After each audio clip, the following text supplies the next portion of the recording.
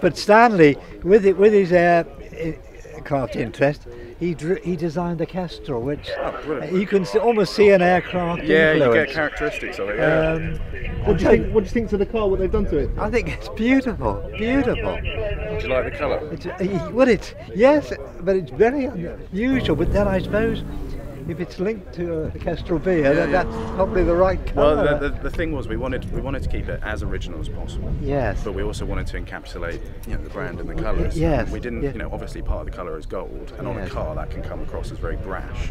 So we chose a type of gold that comes across in a classy way. And- but it fits beer. It fits, yeah, it? it fits it perfectly. I mean, yeah. it's almost like the colour of, of a beer, isn't exactly, it? yeah. Yes, yes, yeah, yeah. but we're, we're, we're yet to go in it. we haven't been in it yet.